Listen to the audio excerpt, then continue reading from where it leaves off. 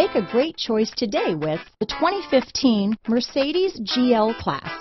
This seven-passenger luxury SUV has a great deal of interior space without huge exterior dimensions.